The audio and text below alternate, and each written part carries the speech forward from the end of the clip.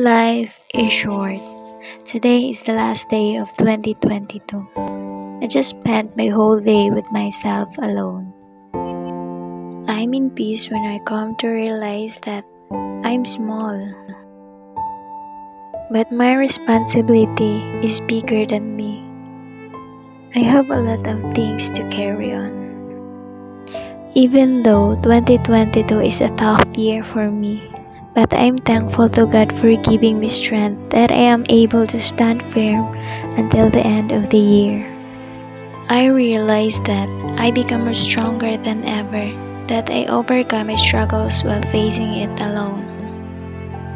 But I know God is with me, and He never leave me by my side. He is always there to comfort me.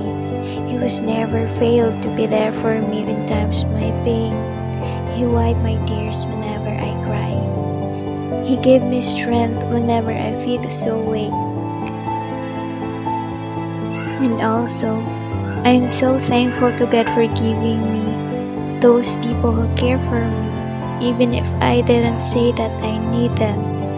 Thank you, Lord, for giving me everything that I have now, especially for giving me those inspiration to wake up and fight each day.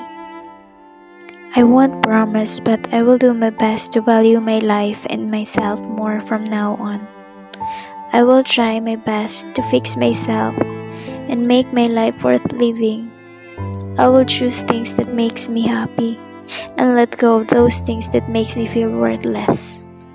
Life is short, so I will live my life to the fullest with God by my side.